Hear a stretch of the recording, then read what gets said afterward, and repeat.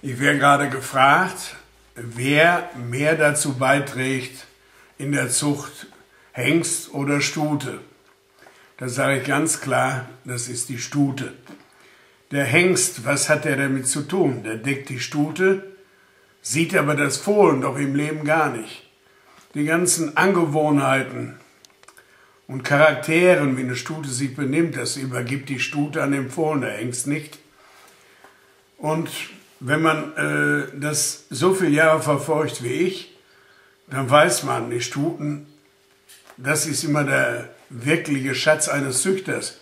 Wenn junge Leute anfangen, die sollen nicht vier mittelprächtige Stuten kaufen, die sollen vielleicht vom älteren Züchter, der genug Fohlen einer Stute hat und die bewiesen gut sind, der soll über sein Geld statt in vier mittelprächtigen Stuten in eine schon erfolgreiche Zuchtstute investieren. Die kann ruhig 15 Jahre alt sein. Da kann er ja noch herrlich vier tolle Fohlen rausziehen. Also immer äh, die Stute hat viel, trägt viel mehr dazu bei, gute Pferde zu bringen, als ein Hengst.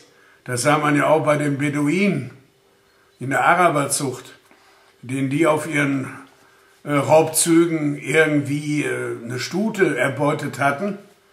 Den Besitzer, der sagt, ich krieg die wieder, das war dem so egal, wenn diese Stute auch mal zum Hengst, der nicht berühmt war, ging. Der wusste, was seine Stute bringt.